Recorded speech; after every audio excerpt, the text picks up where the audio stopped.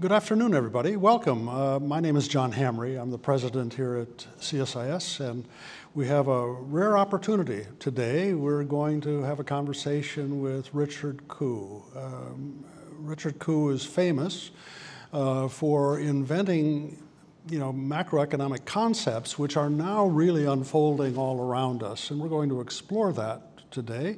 And we're also going to talk about his latest book, which is called Pursued Economy. It's an unusual term, and I'm sure we'll have a chance to get into that. Uh, uh, Richard is chief economist for Nomura. He, um, he's uh, from Taiwan originally. He's lived in the United States. He was he was the New York Fed, as I recall, and born in Japan. Born in Japan uh, has his father was an industrialist in in Taiwan. Uh, travels frequently to China, so he's a real expert, and we're going to draw on all of that today. Uh, and I look forward to the conversation. Richard, thank you so much for joining us.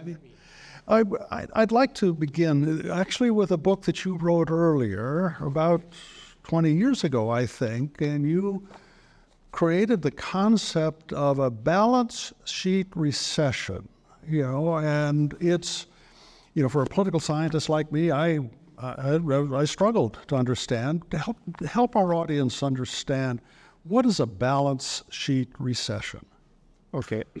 Well, my undergraduate major was also political science, so we are not that far. uh, I was in Japan in early. I, have been in Japan since 1984 when I was headhunted from the New York Fed to work in Nomura. I was supposed to leave in two years and go back to the Fed, but I got stuck there. Then the bubble burst as the prices start collapsing, and the Japanese economy lost all that uh, momentum it had before. Remember how powerful Japanese companies were in the 80s and early 90s. And the Bank of Japan brought rates down to zero, fiscal stimulus, all sorts of policies were tried. Nothing was working. And my economics trading said, if you bring rates down to zero, something should happen. But nothing was happening. And so we were all lost. Then around 1997, I happened to produce a chart which shocked me. And the chart is, please turn on the slide. Yeah, could you put up the charts, please, for Mr. Koo?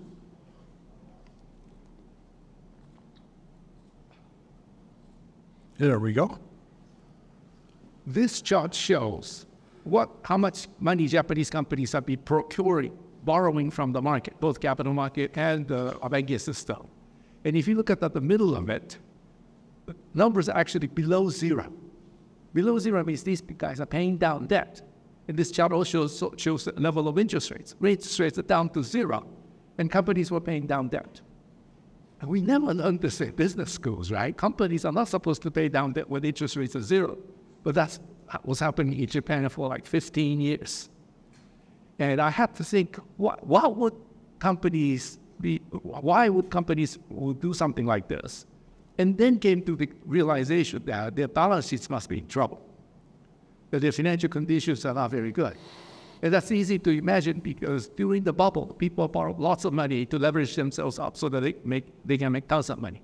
Once the bubble burst, asset prices collapse, liabilities remain. This gap is the hole in your balance sheets. Many of them are technically bankrupt. Now, bankruptcy, excuse me, have two possibilities one with cash flow and one without cash flow. Oh, if you have no cash flow and your balance sheet is underwater, you're bankrupt, period. You have to leave the sea. Uh, that's the end of the story. But suppose you still have cash flow, but your balance sheet is underwater because you made some lousy investments. And that was the case for most Japanese companies at that period. Remember, Japan was still selling cars and cameras all around the world. Everybody wanted to buy Japanese products, high quality, and so forth. So they had cash flow, but balance sheets underwater. When you're in that situation, what are you supposed to do? It doesn't matter whether Japanese, American, or German, or Taiwanese, you're supposed to use the cash flow to pay down debt. Because as long as you have a cash flow, you can continue to pay down debt. At some point, your balance sheets will be balanced again. And from that point, you can say, oh, I'm out of this mess. I'm going to start making money again. But during this process, you're actually minimizing debt. And you want to do this because you don't want to tell your shareholders, sorry, your shares are a piece of paper now. You don't want to tell your bankers it's all non-performing loans, and most importantly, you don't want to tell your workers you have no more jobs tomorrow. So for all the stakeholders involved, that is the right thing to do. The problem is when everybody does it all at the same time, what happens? In a national economy, if someone is saving money or paying down debt, someone else has to be borrowing and spending money. And in the usual economy, people like us in the financial sector will take the money from the savers, give it to someone who can use it. Too many borrowers, central bank will raise interest rates. Too few borrowers, rates are lowered. That's how the cycle is maintained. That's the usual textbook economy. But once the nationwide asset price bubble, uh, asset bubble bursts, everybody's paying down debt. No one is borrowing money, even at zero interest rates. And that's what this chart shows. So once you're in that situation, your ordinary economics, I'm afraid, goes out of the window because people are no longer maximizing profit, mm. they're actually minimizing debt. And if you remember economics in your university days, they're all based on this key assumption that private sector is maximizing profits. Then all the theories are built on top of it. But when you're in this situation, private sector is minimizing debt, then you have to replace everything that was top, on top of that because the implications are so very different. And one of the key, also, that was uh, what happened to Japan. And then if you look at the United States, this is the housing bubble. And if you look at, this is the household sector in the United States. Uh, and the, the blue bars in this chart shows how much uh, financial assets they increase. So the bubble burst in 2008. Right. Right? Okay. And orange bars going down south means they're increasing their borrowings. So this chart shows that during the housing bubble, household sector in the United States were borrowing like crazy. They're actually below zero. The net number is below zero. Household sector is supposed to save money, and the corporate sector is supposed to borrow money in the usual economy, right? But during the bubble days, the U.S. household sector actually borrowing money on a net basis. But once the bubble burst, you see a big change in their behavior suddenly, even at zero interest rates, the uh, Chairman Bernanke brought rates down to zero very quickly. About like in almost five to 10 years, Americans just refused to borrow because their balance sheets are underwater and they're saving like crazy because they're trying to uh, repair their balance sheets. So it, this happened in Japan 1990, but then 2008, it happened in the United States and Europe as well. So well, this is what happened to Spanish households mm. same period, uh, because Europe also had a huge housing bubble as well, not just the United States. And the worst one is Ireland, this one. Irish bubble was the biggest in Europe, and you can see why. The people borrowed like crazy du- during the bubble days. And after that, even with zero negative interest rates, they're not borrowing money at all. So that's basically what I call balance sheet recession. Mm. Now, what happens when people stop borrowing money? we fall into a, a deflationary spiral in the following way. If I have $1,000 of income and I spend 900 myself, the 900 is already someone else's income, so that's not a problem. The $100 I save will go through the financial sector, give it to someone who can use it. That eh, when that person borrows and spends the $100, that together with my $900, this guy spends $100, together $1,000 against my original income of $1,000, the economy moves forward too many borrowers, rates are raised, too few borrowers, rates are lower to make sure the cycle is maintained. But when you fall into a balance sheet recession in the situation that you saw in these charts, you bring rates down to zero, it's still no borrowers. Everybody's repairing balance sheets. Then I have thousand dollars of income, I spend 900 myself. The 900 is already someone else's income, so that's not a problem. But the hundred dollars that I saved gets stuck in a financial system. It cannot go out because there are no borrowers. It's only $900 to spend. That $900 is someone else's income. If that person says, okay, let's save 10%, spend 900 uh, $810, and $90 comes into the banking system, it gets stuck there too. Because repairing balance sheets takes a long time to repair. To repair balance sheet takes a long time. So if nothing is done to the situation, the economy could go from 1,900, 810. It contracts. Mm-hmm. And that's basically what happened to, uh, to the United States during the Great Depression. In four years, United States lost 46% of its GDP. Unemployment rate going to sky high, 25, 25% or so. that's that's the danger of this balance sheet recession. Mm-hmm. So uh, but uh, that suggests that when there is a balance sheet recession, monetary policy disappears. Yeah. Oh, we have to put a new mic on you here, real quick. That, that suggests that monetary policy uh, becomes ineffective and that only fiscal policy is effective for a government? I'm afraid that is the case. Uh, because if no one is borrowing money, monetary policy is largely ineffective. Just bringing rates down to zero, you're just transferring uh, wealth from debtors to creditors, or in other case, creditors to debtors. That's what interest rate moves uh, do. But for that to really have an impact on the economy, someone has to adjust their borrowing and spending. Mm-hmm. Higher rates, they reduce their spending. Uh, lower rates, they increase their spending. It, it's that part that affects the economy. But when there are no borrowers, you bring rates down to zero, negative rates, nothing happens. And the, the amount of bar- the disappearance of borrowers you can see in this chart. This chart shows three lines at the top. Uh, red line is amount of reserves, Federal Reserve injected into the system. So that's basically the money printing that we all talk about. The blue line is money supply. That's how much money we have in our bank account. And the green line is how much money banks lend. And if you remember your economics, we will talk that these three lines are supposed to move together. Right? So the central bank increases the monetary base by 10%, money supply, credit increasing by 10%. And if you look at this chart, that world did exist until 2008, three lines moving beautifully together.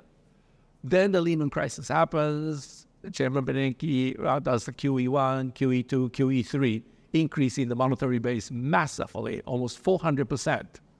But look what ha- happens to the other two the blue line stays put, green line actually contracts. And why is the green line contracting? Because people are paying down debt. So that shows that this decoupling means that monetary policy, as you suggest, that is completely uh, made ineffective. So this explains why, even though we were printing money like yes. crazy over the last 15 years, right. inflation was low. Right. The, the bottom line is the inflation number. Yeah. And I watched this green line very carefully because that's how much money the banks actually lent out. You know, central bank can always put money to the banking system. That's not a problem. You just buy the assets from the banking sector and then you put the cash in uh, on this place. But for the money to come out of the banking system and enter the real economy, banks have to lend money. You cannot give this away because the money actually belongs to depositors. But if the banks are unable to lend, as these lines show, the green lines show, then all the money that our central bank put into the banking system is basically still stuck in the financial sector. It hasn't come out yet. And in that situation, I'm afraid monetary policy is largely useless. Mm-hmm. Government has to come in to borrow the excess savings in the private sector and put back into the income stream, the hundred dollars. So, so the the the Great Recession in the U.S. was brutal, but it but in Japan it it lasted two decades what, why did it last so long in Japan? Did they, did they not adopt the right policies for fiscal stimulus to replace, you know, the, the, the, the excess savings in the private sector? Okay, uh, sorry, let me just move quickly these jets. This is what happened to Eurozone, exactly yep. the same story, decoupling, UK, same decoupling story. And then finally, this is what happened to Japan. Same decoupling. Uh, but at the beginning, we had no idea what was happening. So they tried monetary policy, bringing rates down to zero, uh, fiscal policy. But fiscal policy always works. If government spends the money, the, the $100, borrows and spends the $100, then it's 900 plus $100,000, the, the economy would be okay. And Japanese GDP, by the way, never fell below the peak of the bubble. Mm. It was always about the peak of the bubble, even though the amount of wealth Japanese lost as a result of bursting of the bubble was three years worth of 1989 GDP. Mm. The amount of wealth Americans lost during the Great Depression was one year's worth of 1929 GDP. So Japanese damage was three times larger. In the US, as I mentioned to you earlier, lost 46% of the GDP. Japanese never lost it, never lost anything The GDP always stayed above the bubble peak. And that's because the government was borrowing and spending. So it was working. It was working very well. But it was not perceived that way for, for the reason that we were all taught in our universities that there's always this pump priming idea. The fiscal policy, you do a big fiscal stimulus, and then that will pump the prime, economy start taking off, and then you can remove the fiscal stimulus. That's basically the whole idea of pump priming. That never worked. It didn't work. Didn't work at all. And why is that? At the beginning, we had no idea why it wasn't working. But once you understand the balance sheet issues, then you can understand why. Mm-hmm. I mean, private sector thoughts experienced this massive loss of wealth. Commercial real estate in Japan fell 87% mm-hmm. nationwide. Mean, just imagine that's happening in the United States, not just a little corner of Manhattan. Yeah, yeah. The entire country down 87. Everybody will be repairing balance sheets for years. So each year, fiscal stimulus was put in, everything worked, uh, economy responded. But when the re- it was removed, economy tanked again. And then people somehow concluded that, oh, then it's not working. It was working to keep the GDP from collapsing. But people didn't appreciate that.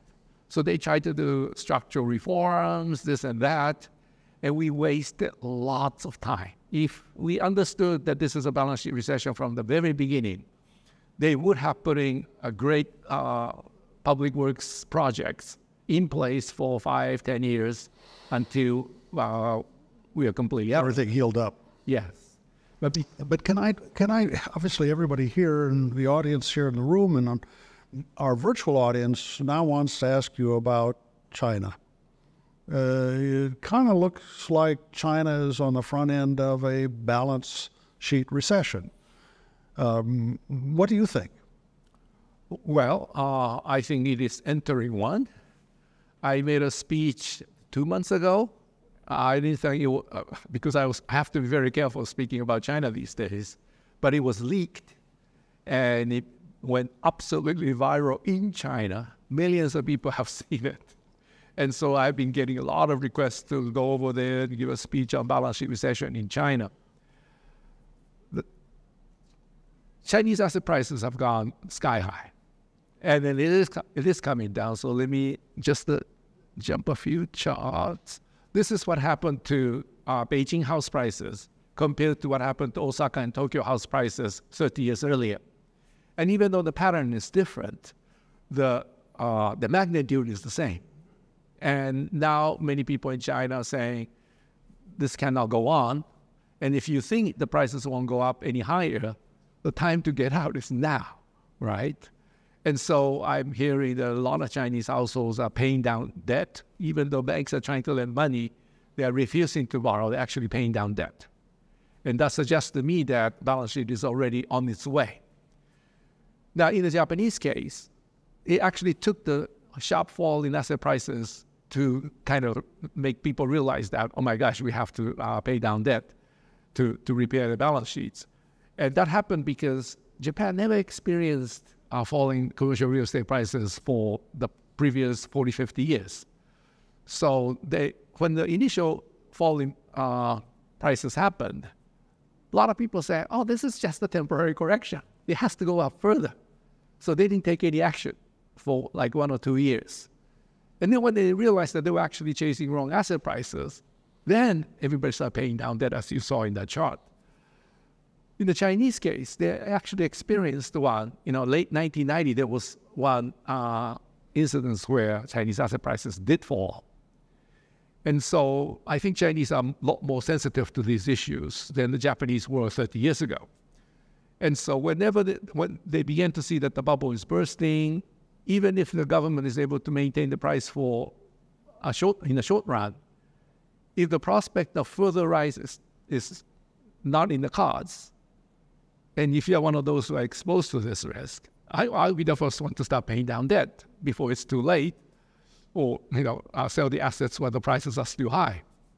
But when everybody starts doing that all, all at the same time, we enter balance sheet recession. Mm. And I think we are, are moving in, in that direction. But this balance sheet recession, I have to struggle to say that right, um, is right on top of a pivot point on their their population. I mean, they're they have a demography problem now. Right, right. How how are these going to be? How will they be connected? How does this affect each other?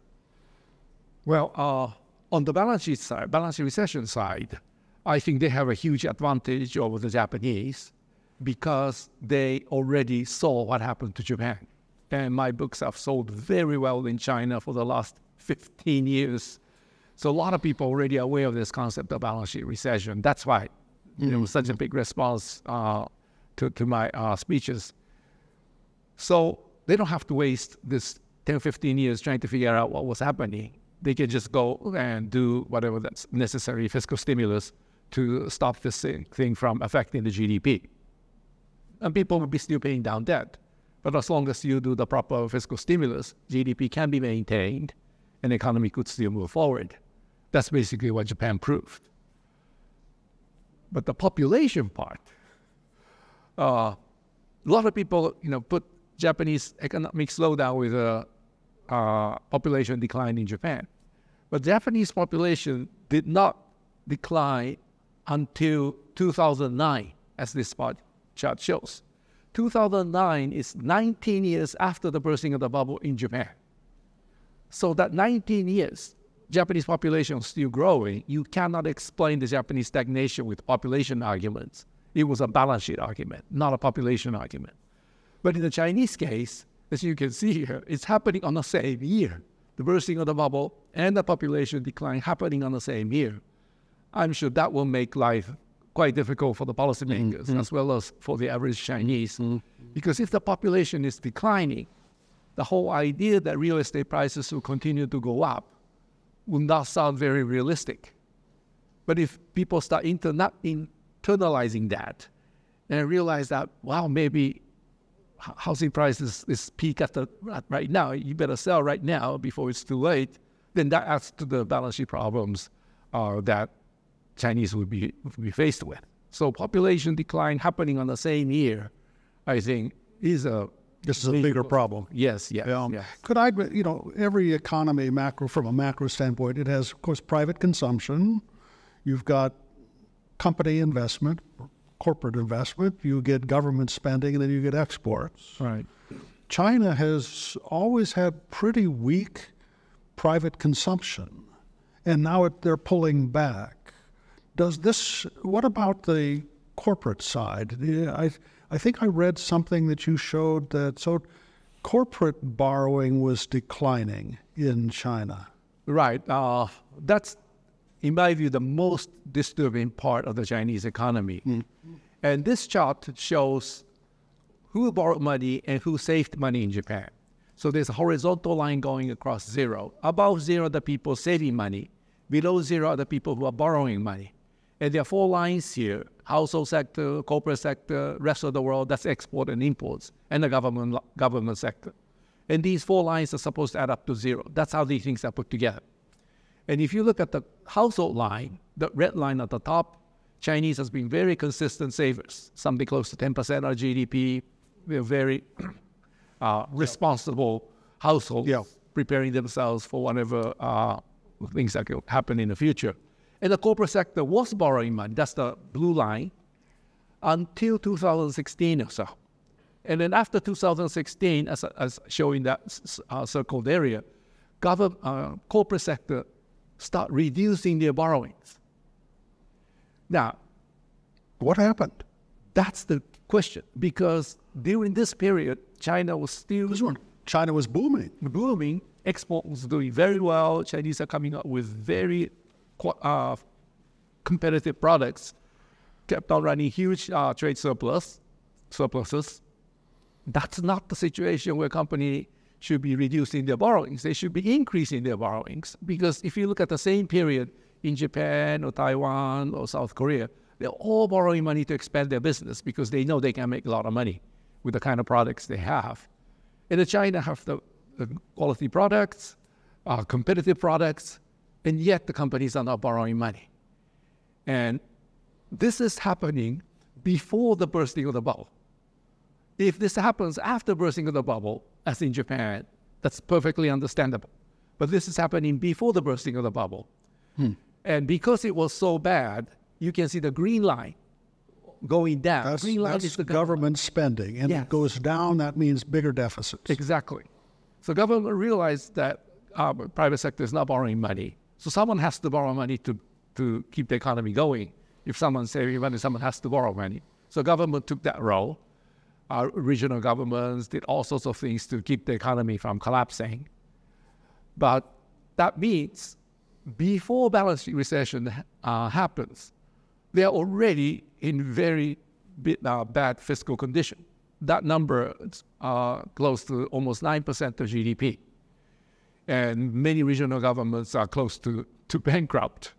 Uh, they depleted their borrowing resources and so forth. But but if if I understood your your previous point that now they're entering a balance sheet recession, the government has to spend more money. Exactly. If because as the private sector is saving, corporations are saving, now the government has to spend more money. But they've been doing that for eight years. Right. They've already built about as many Shinkansen rapid rail lines as you can build. Uh, what are they going to do? What, how, how do they get productive fiscal stimulus at this stage, given all of the debt that they've put in, in over the last, say, 10 years? Well, uh, the number of issues involved here. First of all, most of the fiscal stimulus in, the, in China over the last seven, eight years were done by the regional governments. And regional, regional governments have completely exhausted their borrowing power. So the central government will have to come in and borrow, or central government will have to guarantee the mm-hmm. activities of the mm-hmm. regional governments. One of those things will have to happen. Will mm-hmm. have to happen. And that's something new for China because in the past it was the central government that just ordered the regional governments to do the borrowing and spending. But now the central government will have to be involved in it. So that's one thing that they will have to do a lot of uh, regulatory other changes. The other factor is at the most fundamental level, financing of balance sheet recession should not be a problem.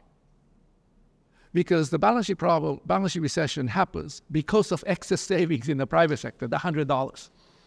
So the hundred dollars should be available in the financial sector. If the government comes in and borrow, it should they should be more than happy to lend to the government. And we can already see that in the Chinese setting. Uh, 10 year Chinese government bonds is yielding only 2.6%. For an economy with that much forward momentum, exports so competitive, um, that's like China's running you know, huge trade surpluses around the world. 10-year government bond yield at 2.6% is ridiculously low.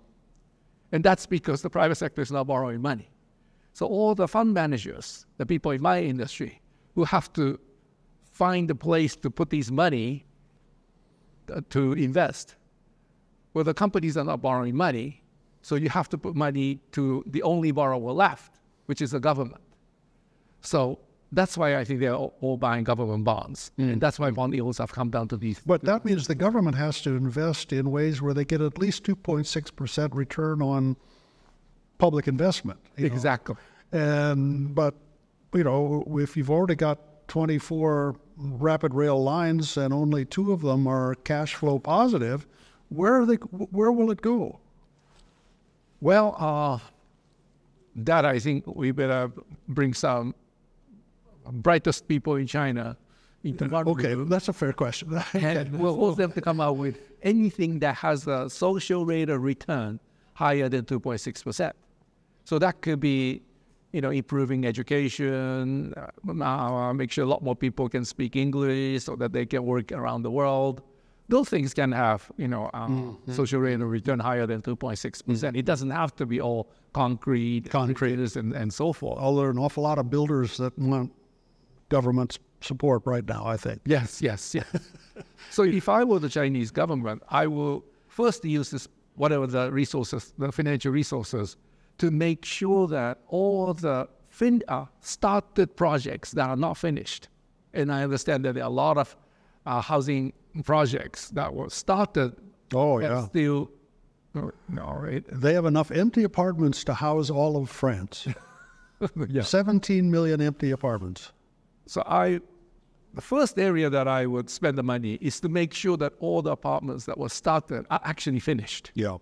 I think that will have a biggest impact for the one renminbi that you spend, because then that will make people who put the money to uh, build those houses will, will be made whole, even though the price of the house may be not that high as they expected. But I think that's where the money should be spent first. Okay. You, we've been talking about balance sheet recession, but that's that's that was your old book. This is your new book.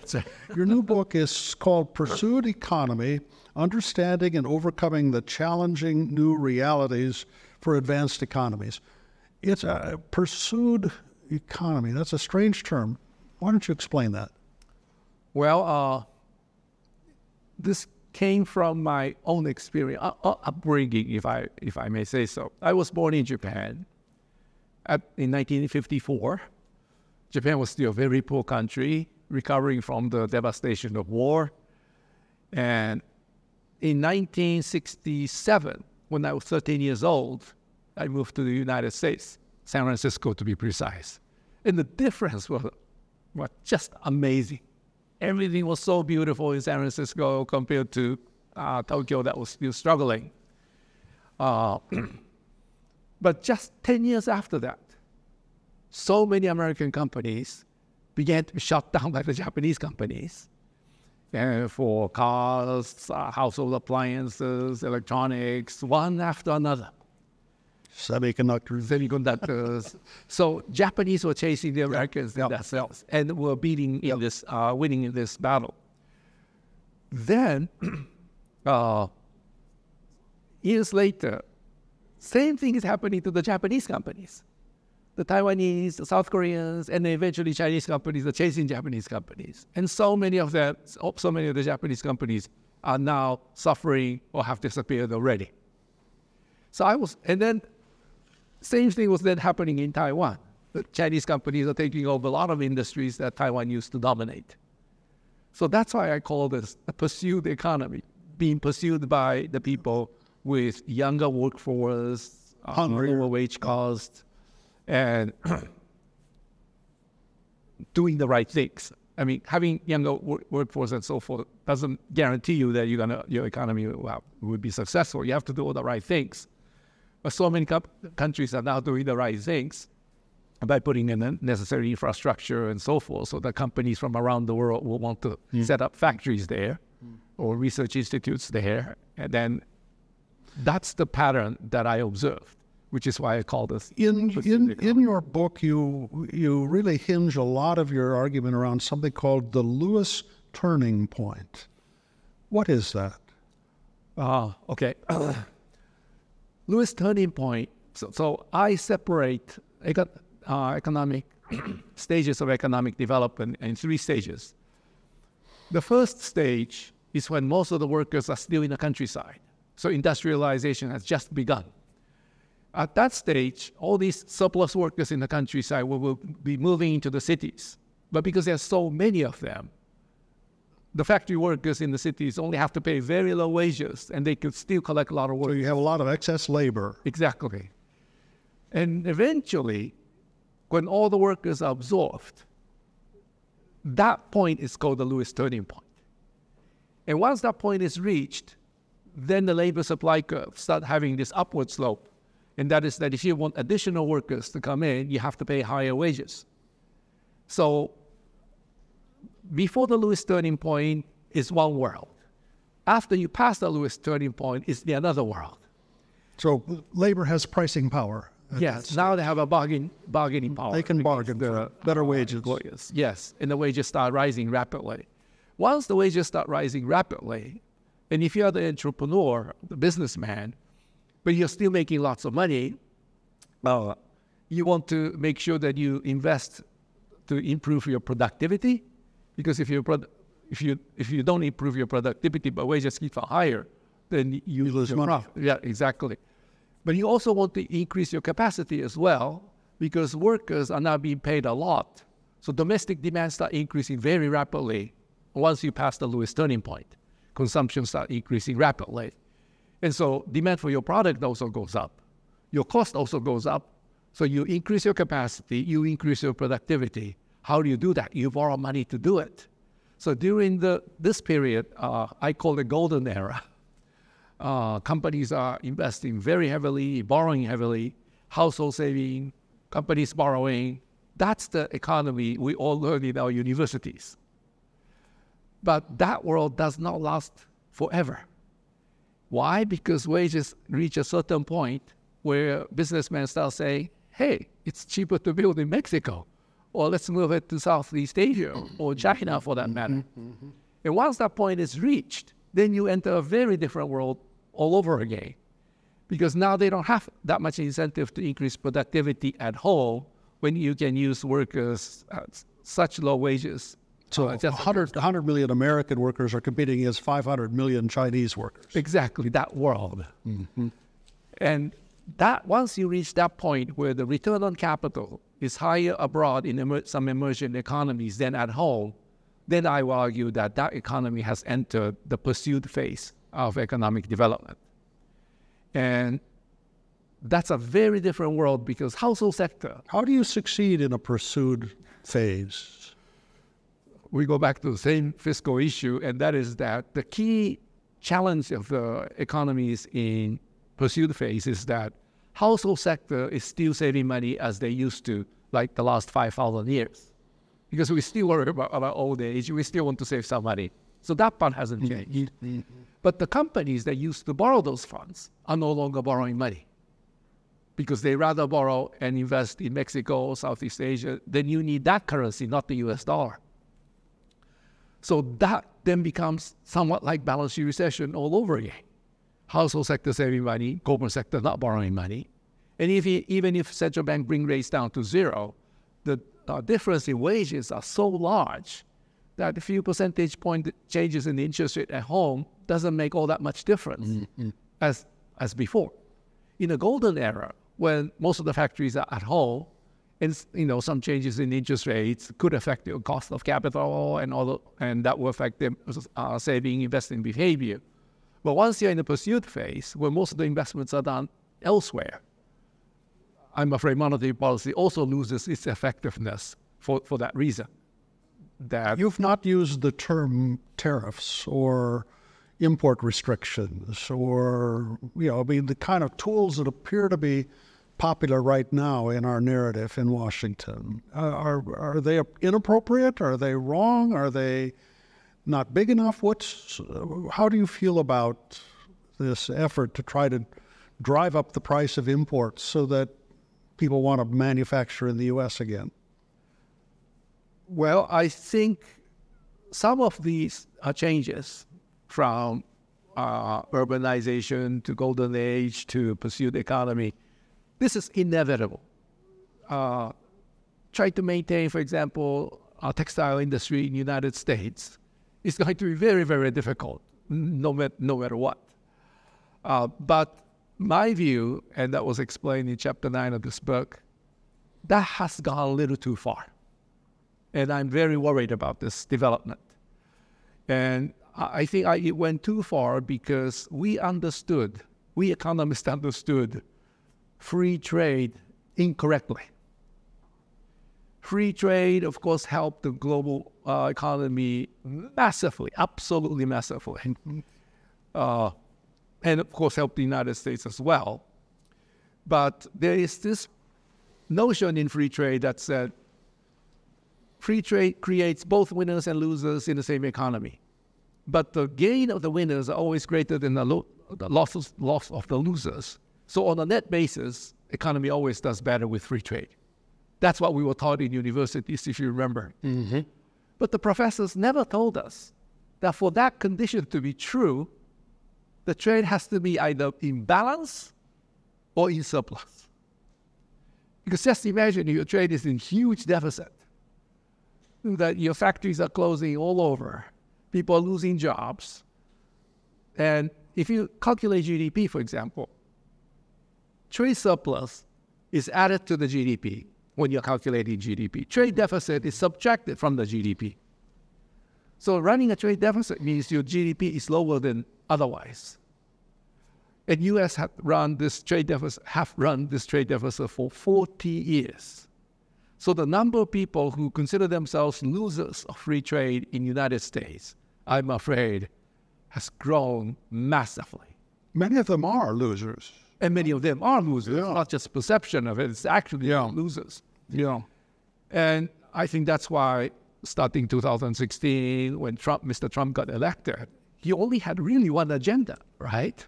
Reduce the trade deficit. Let's protect the uh, manufacturing industries and all these blue collar workers who have been suffering for all these years.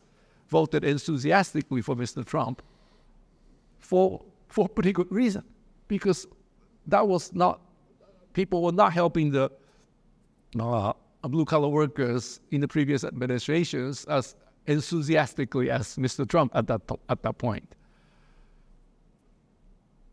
And if you remember Hillary Clinton, when he was she was nominated to become the pre- uh, She was protectionist. yeah she was she had to say she's not going to join the TPP, Yeah. which she herself negotiated. Yeah. And the whole arena of the Democratic National Convention was filled with a sign that says no to TPP. That was the only sign that was on the arena. so we have going protectionist because we did not look after the workers and the manufacturing industries for so long by allowing the dollar to remain too high. Originally, when this uh, GATT system was put into place after World War II, General Agreement on Tariff and Trade. That was the beginning of the free trade uh, post-war. The idea was that if there's a big uh, changes, well, when there's a big imbalance in trade, exchanges should be adjusted eventually. Those are fixed rate exchanges, but those, those are supposed to be adjusted if there's a big uh, imbalances. And uh, 1971, with Nixon shock, it was moved to a flexible exchange rate. So exchange rate adjusting every day to minimize the uh, increase in uh, trade balances. That is to say, the uh, trade surplus countries will eventually see its exchange rate rise. Trade deficit countries eventually see uh, exchange rates fall, and that was basically a balancing act. But starting 1980, all these countries, without thinking very thoroughly, decide to deregulate the capital flows. So before 1980, only exporters and importers were in the foreign exchange market, basically. And so if exporters have, for example, Japanese exporters, Toyota, earn so much dollars in the United States, have to sell these dollars to pay their workers at home in yen. But the Americans are not selling very many goods in Japan on the other side.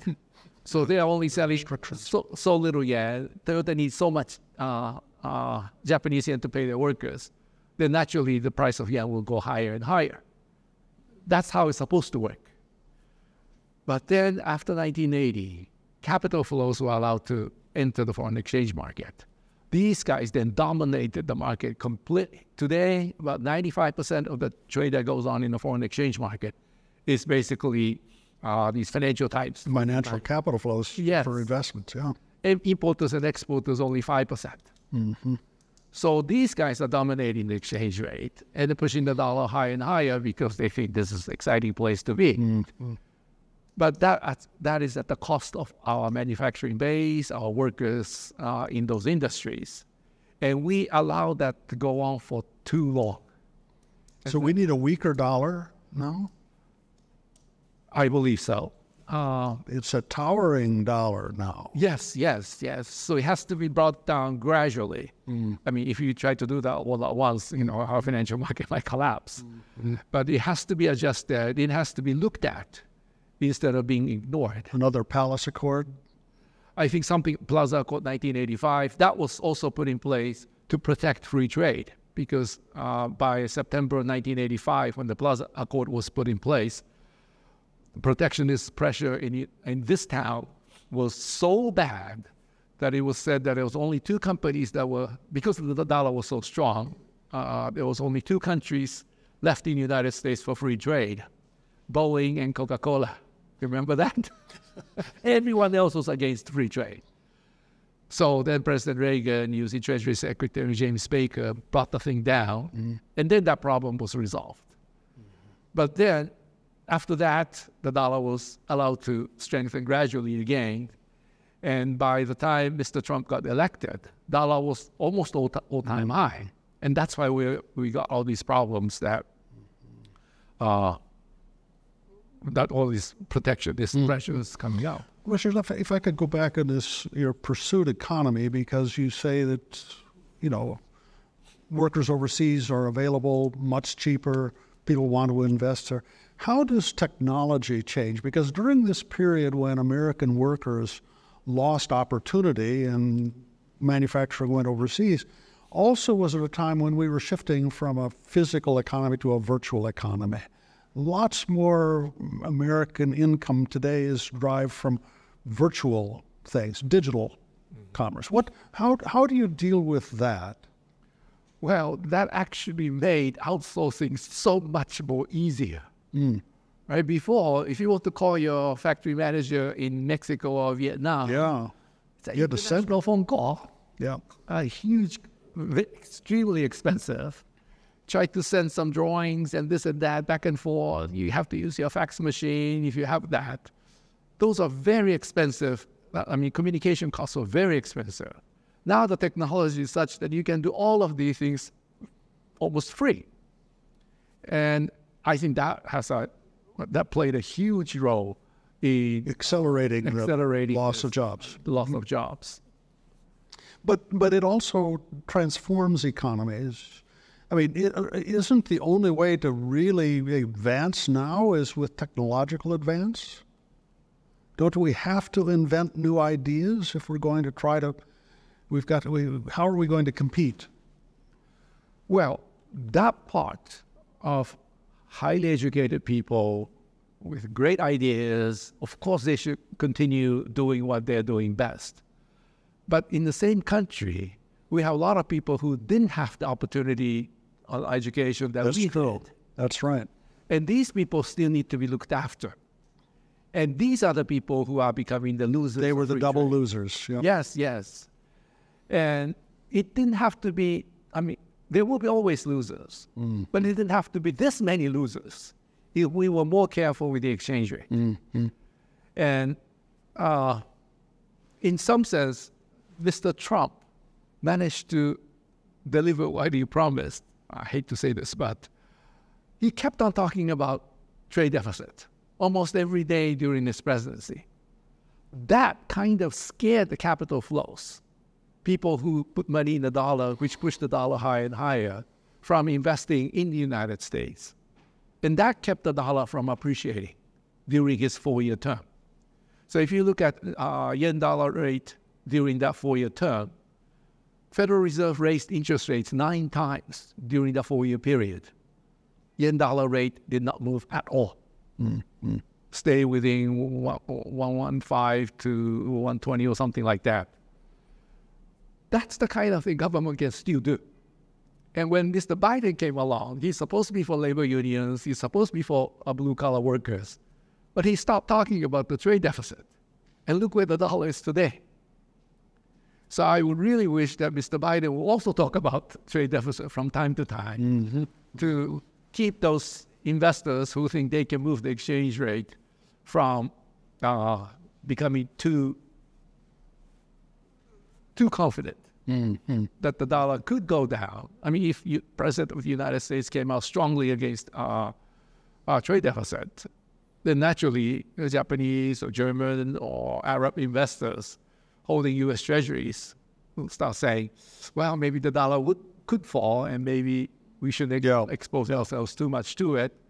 And that will allow the trade part to play a bigger role in uh, um, exchange rate determination, and I think that will keep the U.S. trade deficit from from increasing. Let me ask you: Is is China entering the phase of being a pursued economy? We hear about supply chains moving away from China. Well, if you look at, uh, if I may use this chart, oops. this chart shows where these countries are in this uh, category that I mentioned urbanization state, golden era, and the pursuit phase. And uh, if you look at this chart, you'll notice that the golden era part, this uh, orange part, seems to be coming shorter and shorter for the countries. That's because of the Of technology. globalization, globalization and technology. That uh, US and Western Europe probably enjoy for 50, 60 years. Japan, maybe 40. Taiwan and South Korea, maybe 20, 25. And China may could be shorter because so many other countries want the factories from China. Now that Chinese wages have gone up, and because of the, the conflict with the West, uh, making products in China could could be risky if other countries stop putting tariffs on the Chinese Well, products. I mean, then the Chinese government is making it harder. I mean, with the anti-espionage laws and other Right, right, right. causing people. But it's also because of this demographic decline now in China. They're probably, you know, coming to that point where they don't. I mean, they still have a lot of unemployed people, uh, but that's really kind of this recession, this balance sheet recession now, right? I mean, China doesn't have to be in the position it is in now. I mean, there are a lot of things that Chinese government can do to encourage people to invest more, expand more factories, because Chinese companies are still highly competitive. Yeah. But the current government doesn't seem to put too much priority on those things. They're a lot more uh, concentrated on national security issues, Yeah. Yeah. and that may actually shorten the period of The golden era. golden era for the Chinese mm. economy mm. prematurely, in my view. It doesn't have to be that way. Yeah, we're we're at nearing the end of time we have with you, Richard. What what? So why don't why don't you take a minute to just frame up kind of what's your message to uh, Washington to policymakers here? What should we be doing here? Well, I wrote this book, Pursue the Economy, to uh, make people think that the economics we learn in universities are no longer applicable in the world we live in now. We always assume the private sector is maximizing profits. And even though that is true, if the factories are all outside the country, they behave very, very differently. In the past, uh, with all the factories at home, interest rate movement at home made all the difference in the world. But if all the factories are outside, interest rate movements at home are not going to be very effective. And if you look at those uh, companies on its own, uh, their, their domestic operation, they're not borrowing money. But the household sector is still saving money. So in that case, the government might have to come in, and the government, just as you mentioned in the Chinese case, will have to bring in a lot of bright people in one room to come up with what we can do to make sure that the economy stays uh, uh, keep on keeps on going with a fiscal stimulus, but not wasting this money on some senseless projects. And in the pursuit economy, right now we have a slightly different uh, headwind from this inflation coming from the uh, uh, after effects of COVID 19. But once this inflation problem is behind us, rates will probably come down again. And so people have to think of what kind of projects will earn a social rate of return that is higher than the 10 year government uh, US Treasury bonds. In your book, you talk about education. Sorry? You talk about education. And one of, one of them is definitely education. It's going to be One of the key issues of uh, pursuit economy is that education becomes so much more important than during the golden era. Yeah. During the golden era, it's usually the manufacturers that are Yeah. uh, creating the jobs, and manufacturing jobs does not require very high levels of education. But in the pursuit economy, uh, if you're not well educated, I'm afraid you know Yeah. jobs are not available to you. So I think a lot more money should be spent. we have to up our game on this. Yeah. Richard Koo, this has been a fascinating conversation with you. I, you uh, for having me. I think all of the people in the room, I'd ask you to thank him with your applause. And we want to say, You're a damn couple have your time equal. it uh, pursued economy. It's available from Wiley, and I encourage everybody to get a copy. Thank you. Thank you. Thank you. Thanks for that. Still get it, watching the end, but you know, it's in there, but you know, thank you.